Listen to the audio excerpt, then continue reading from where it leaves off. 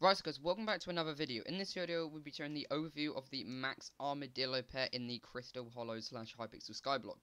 Now, first of all, with the stats of the uh, Armadillo, is that it gives you 200 defense, which is the exact same as the Max Rock. I don't have the Max Rock yet. It doesn't give you the true defense, which is plus 9. And the first ability is the Tunneler. The Armadillo will break stone or ore in the path while you are riding it.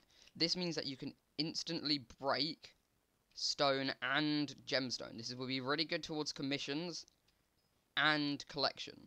And obviously you can then uh, mine it. Now, it's also a very good way to get these chests.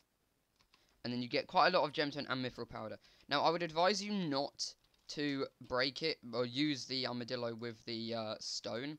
Because it has a certain amount of energy which can be used up quite fast. So you may as well just run around like this with your drill around once you find gemstone and then use it.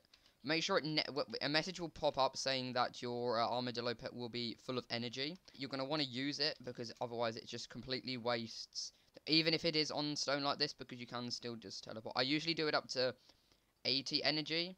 And then obviously you can get some on your way, just jump around a bit. And the other thing is, is that it can break any uh, breaking power worth of things. So it can break topaz, which is pretty good Mining pets are very easy to level up, as in the Dwarven mines you can just mine the gemstone, or not the gemstone, the mithril and titanium, and it will give you quite a lot. We have 322, 600, and uh, 611. We mine around a bit. There we go. And then we have another we have another check. There we go. Over like 700. Another thing to add is that I did just reach mining 50.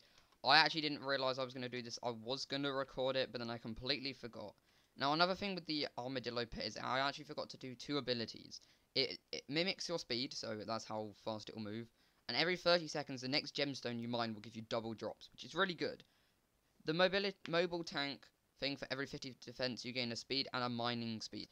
So I hope you guys like the uh, overview of the um, pet. any other pets that you want me to review, then put it in the comments. There will be a Black Ops 4 video about me getting Dark Matter coming later, probably tomorrow.